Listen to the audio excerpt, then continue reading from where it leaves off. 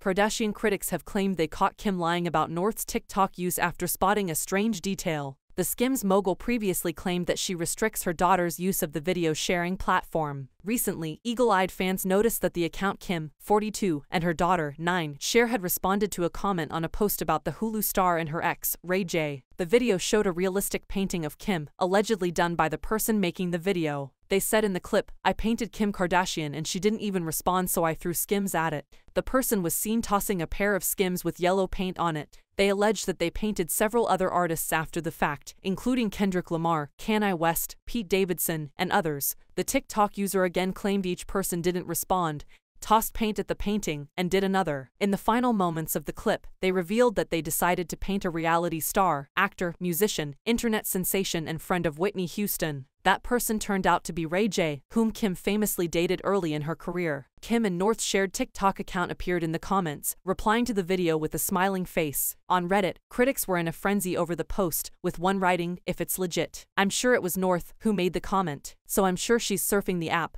which is not good lol. No telling what she will run across. Another commented, I don't ever allow North to scroll on TikTok Kim during the interview she did with Gwyneth Paltrow for Goop. Someone else chimed in, my kids don't know anything, I'm like super careful shoddy is really that delusional. A fourth fan added, I'm sure it was North considering the comment itself, and the fact Kim has her own Kim Kardashian account. Pretty sad that North will probably come across a lot of things she shouldn't be exposed to on that app. Having a blast, Kim appears to be either blissfully unaware of the activity or choosing to ignore it. She recently appeared in a video with her daughter North, showing off their moves. In the post, Kim was seen standing behind North while she lip-synced to a snippet of Adele's appearance on Saturday Night Live, during which she says, ladies and gentlemen dot dot dot her. The 9-second clip then switched to the 1956 song Only You by the Platters as Kim and her eldest child start to dance. North was dressed in a black t-shirt and matching sweatpants and was still rocking her long pink and white braids as she danced from side to side and pulled some fancy faces. Kim was also dressed in an all-black outfit